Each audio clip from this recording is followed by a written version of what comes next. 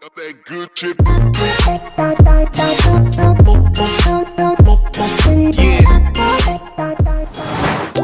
going on guys, Dividing here, and today we are back with another MCPE shader review. This time we're going to be reviewing the CSPE shader V1 or 6 version 1.2 Real. Yes, that is the name of this shader. So before we start off the video, don't forget to leave a like and subscribe and comment down below for any future suggestions you may want. If you want to see my first CSPE review, it's in the card right now. And yeah, so let's get on with the review. So first off, this shader is not for low-end devices. I just want to tell you that before you break your phone right? So just chillax. So this is what the shader is. We have our waving leaves over here. It's your, actually, it's a previous type of waving in MCPE shaders because shaders used to wave like this rather than the ones that wave now. And this one's like more of a periodic waving. However, there is a sort of border right here. So if you're not into that, then that's fine. For grass, it does wave right here. It still waves with the two parts and it does wave periodically, not like other shaders where it waves always. This one, there's a time to it. So if you're into that, then that's fine. Now another feature you may have noticed, which we haven't seen in another shader for a very long time, is the player shadow. Yes, the player shadow once again is back and it's not perfect because you can actually see your body parts being dismembered if you can get the right angle but other than that, we have a player shadow, so that's cool. What we have over here is the sky. So we have a blank canvas of sky over here with a hue, so that's good. Then we have our custom clouds over here. And I'm gonna be honest, it looks like it was green screened onto the sky.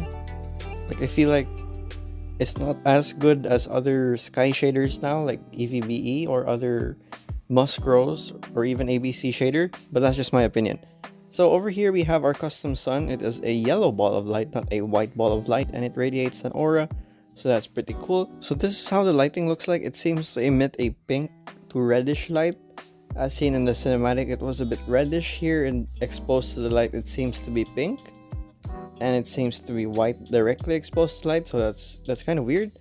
But yeah, that's how the lighting looks like. And of course, we have our shadows over here. Now, at least they're not rigid or pointy and they do seem to be smooth on the sides, although we have some bugs over here. Uh, yeah, it's pretty cool. So we have the water over here and it looks very, very Java-like. We have our reflections over there. I mean, look at that. That's practically Java. It looks really good from afar, but when the moment you go near, the effect of the effect is kind of gone. The ripples you don't see an outline, so that's pretty cool. And you can even still see your player shadow and even ripples, so that's really good. And yeah, that's basically it for the water. This is a very laggy shader for low-end devices, so don't use it. And over here, this is how it looks like underwater. So if you want to use this for monument hunting, you can. But it will get laggy the more you stay underwater, so be careful of that.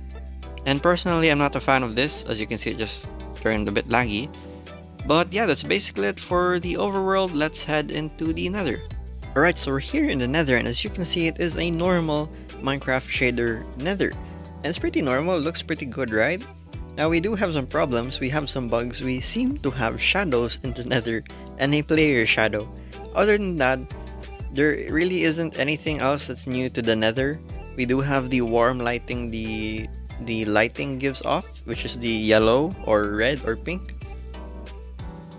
And we do have something interesting that the shader brings though, is this. It seems to give off a wave effect that resembles the ripples that it was giving on the water. So every light source in the nether seems to be rippling, which is actually cool since it's like a heat wave and we do have some lighting issues.